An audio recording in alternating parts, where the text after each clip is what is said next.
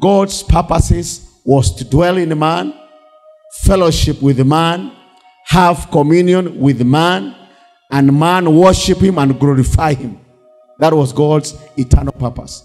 Na wakati Kristo amekuja na akalipa gharama ya dhambi na tukapokea tena Roho Mtakatifu, God is still taking us back to that program. What we are waiting for now is only one thing. Na ni gani hiyo? Tunangoja kanisa litwaliwe, wale waliolala katika Bwana waamuke kufumba na kufumbua, wale walio hai wabadilishwe, tumlaki Bwana Yesu mawinguni na tupewe mwili wa utukufu. Amen. Listen to me very carefully. The spirit and the soul, wakati tutakapotoka katika mwili, those two can never live without a body. Let me come again very slowly. Roho na nafsi haziwezi kuishi pasipo mwili. That is why because you are a spirit and you have a soul, you need a body. Na hata tukilala katika Bwana tutapewa mwili wa utukufu kwa sababu we shall have a spirit and a soul, we shall need a body. Thank you Jesus. Nataka msikize kwa makini ndio muelewe na hii kitu. Katika dunia hii mwanadamu yoyote ambaye anatoka kwa mwili the spirit comes out na unaingia ulimwengu wa rohoni.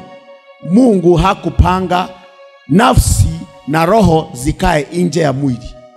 That is why it is illegal. It is illegal for anybody, even Satanists, when they are given demons na wanatoka kwa mwili na wanaingia katika ulimwengu wa rohoni. Before God, it is a sin because you are supposed to be living in a body. That was God's purpose. As long as man is here on earth, he must stay inside the body. Na kama mwanadamu kwa nguvu za Roho Mtakatifu atatoka kwa mwili, ni kwa sababu Mungu ametoa idhini.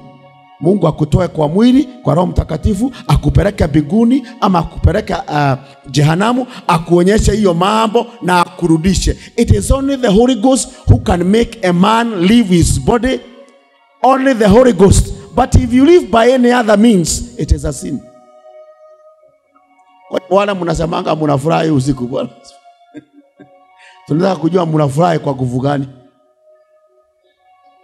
Amen. Zinaitangwa terrestrial journeys. Kuingia rohoni. Bwana asifiwe. That is why wale unasikia kama uh, mara nyingi kama wewe unafurahi furahi usiku. Uh, lazima tutake kujua hiyo connection ya kukutoa kwa mwili ni connection gani? Na niliwaambia wakati mtu anatoka kwa mwili kuna kakitu kanaitwa nini? Silver cord. Kanaitwa nini? Silver God. Ukitoka kwa mwili hivi ako ndio kanatokanga na ni karefu sana. Unaweza kutoka kwa mwili ukiwa hapa na uende Amerika, na ikifika mahali ya kurudi utarudi, lakini kakikatwa huwezi kuingia kwa mwili tena wala wanauanga wachawi, hiyo ndio wanakataga. Na usijaribu kuwa mchawi ati nakata silver cord in the name. Who told you you don't have the authority? Kwa sababu gani?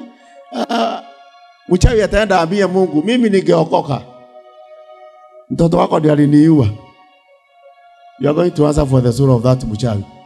Kwa hivyo hii mnasemanga oh, sijui nini nini nini. The Bible says suffer not for a witch to live. I cut the silver cord in the name. Na unaruka kwa roof, unajitafutia kesi, unajitafutia kesi. Tafadhali, kama mtu ni adui yako, Biblia inatuambia tufanye nini? Tumuombee, tumpe nini? Chakula na tumbariki. Tumemwekea nini? makaa juu ya kichwa. Hii mambo ya return to the sender, na ni watu wa kanisa. nitaniambia kama mnafanya kazi posta. Bwana asifiwe. Unaona barua zinaandikwa RTS, return to the sender. I'm teaching a very serious thing. Hii ni kitu kwa kanisani na hii ni uchawi, na watu wanaifanya wakisema in Jesus name. Hakuna kitu kama hiyo. Nataka muwe safi in your spirits, in your souls and bodies. you, you remain blameless before God. Na usidharau ile maneno unaongea. Ile maneno unaongea haitaishia hapa. The things you speak. Tusichukue maneno tunaongea kwa mzaha. That's why Yesu alisema, let your yes be yes. And for every idle word you shall give account. Let me tell you, your words are critical. Usiwe na mazoea ya kuongea kiholela. Na wale mnajua kuongea sana, tafadhali, if you talk too much, be careful. It is one of the diseases of the tongue. Tell your neighbor, kwaria munaone mlimu wa rurimi. Bwana asifiwe. Biblia inasema kwamba katika maneno mengi kuna nini? Kuna dhambi. That's how people commit sin. Kwa kuongea. Ukisikia mtu akisema mimi, mimi nakuaga hivyo, mimi ni mtu wa kuongea, hurumie. Amen. Kama nimekwaza mtu anisamehe. Bwana asifiwe. Let's continue. Uh, any unsurrendered area should be discerned by a believer.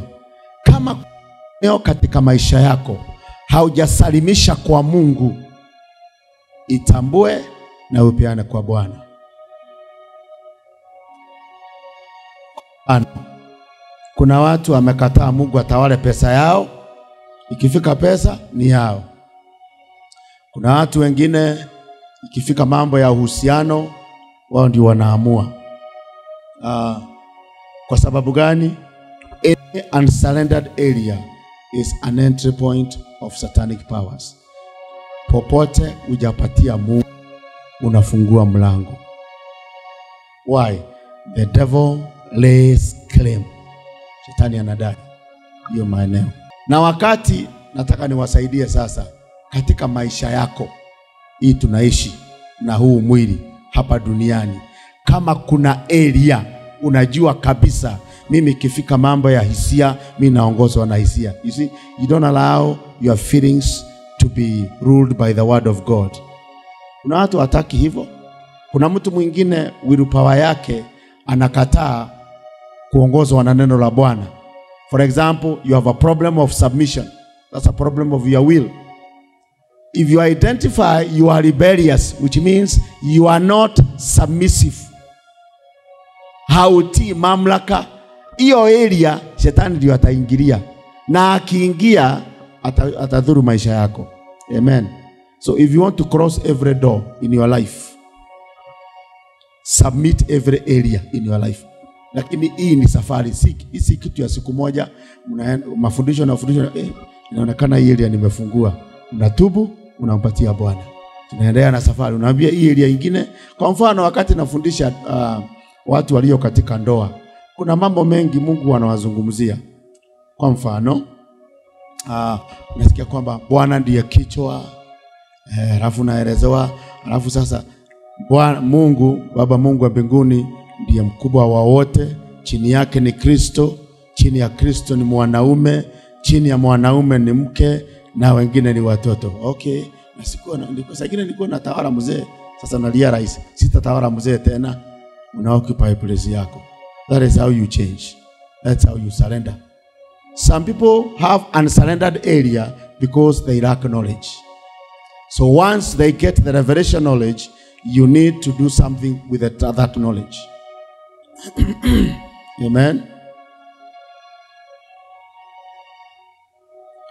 The other thing is that uh, when you are born again, your body was purchased, but it is not yet redeemed. Body was purchased. What we are waiting for is the redemption of your body. But the price is paid for. Gharama imelipwa. The redemption of the body is when we shall be given a glorious body. Na wale munafikiria ati glorious body shall be automatic. Let me tell you this. You must be careful the kind of life you are living while in this body. Lazima uchunge yale maisha unaishi katika huu mwili. yanaweza yakafanya usipokee mwili wa utukufu. Tamaa mbaya mbaya, doing things which are contrary to biblical instruction. So you need to subject your body to the authority of the scriptures. Subject your body to the authority of the scriptures. Tiisha mwili wako kwa maagizo ya neno. Kwa mfano, neno nasema kwamba tusitamani mali ya wenyewe, lakini we kila mahali ukienda ni kutamani vitu za wenyewe eh? Sasa unajua tunatu, ni macho unatumia, si macho iko kwenye mwili, unatumia mwili kuona wenyewe eh, gari ile gari eh. Sasa lazima tuanze kujizuia eh? Bwana asifiwe. Lazima uwe na kiasi. We need a moderation in our lives. Tuwe watu wa kiasi eh? Yaani unatamani kitu cha wenyewe mpaka unapanga jinsi utakinyakua, unaweka mpaka mikakati ya ujanja. Amen. We need a life of discipline, self control. You need the fruit of the Holy Spirit of self control. Galatians 5:22. Self control is one of the fruit of the Holy Spirit. Ni tunda Roho Mtakatifu. Lazima mwili wako udhibitiwe na Roho Mtakatifu. Kama ni ulimi wako na ni sehemu ya mwili wako, upatiane ulimi wako kwa Bwana uponywe. Huwa unasaidia kama kale kana, kanaendeshwa na makapteni wanaendesha meli eh? Ama kale kabiti kanawekwa kwa farasi inaongozwa ina turn this way and that way. Now, ama, ama kaspeki kadogo ambacho kanawasha moto kwa msitu mzima ni kakiungo kadogo na kako kwenye mwili. So we need to know particularly you need to watch over your tongue it can make you not go to rapture. Kwa hivyo kila kiungo katika mwili wako should be an instrument of righteousness. Kila kiungo it should be an instrument of righteousness so that your body can be secure in the Lord. Utaweza kuingia kwa rapture na utaweza kupokea mwili wa utukufu. One of the diseases of the tongue ni mambo ya gossiping. Gossiping is very deadly na inakuwa na hatari kubwa sana, na wale ambao amuingiangi hamuingiangi Bible study ni vizuri muombe hizo notes kwa washirika ambao watumishi wa Mungu wanakuja. Hayo ni mafundisho muhimu sana, very very very critical, very critical, mambo ya ulimi, maana ulimi ulimi ni hatari, utafanya watu wengi wafungiwe nje, wengi. Na watakuwa kanisani, watakuwa nje ya kanisa, wako kwa kanisa. Na watakuwa wamekuja kwa mikesha. Eh? Na ni vizuri kupeleka mwili wako mahali natakikana Don't take your body everywhere. The Bible says you don't become busy bodies. Hiyo ni governor ya kiroho. Usifanye mwili wako kila mahali eh? Ukifika Roiro kwa kwa metra je, huyo huyo kidogo unaingia sijui wapi eh? Zuia, don't take your body, don't be a busy body eh? Na wengine wanakuanga busy. Ni Paul aliambia kanisa, hiyo si mambo yangu, usiniangalie vibaya. Bwana sifiwe. Busy, busy body, unaamka asubuhi by saa nne umeingia nyumba za wenyewe kama sita, hata kwingine hawajaamka haya mutire burokera. Na tunasema nimekuja kuwajulia, nimekuja kuwajulia hali halafu ni, nitoe ushuhuda. Amen. Kama wewe ni mzee wa kanisa, alona tunafanya mimi nafanyanga follow up. Unajua unatumia mwili kufanya follow up. Eh? Unaenda kufollow up mjane. My sister have come this early to encourage you. Ministry encouragement requires wisdom. Amen. You might be doing the right thing, but you have taken the body to the wrong place. Make sure you take your body to the right place and at the right time. Amen. Amen. Na mkitaka niwaambie kwa wazi, you can imagine mtu ana- ana- ana- anasindikishwa na mjane na ni saa sita ati nimetoka ministry of encouragement. Isn't that a busybody? It's also a sign of evil.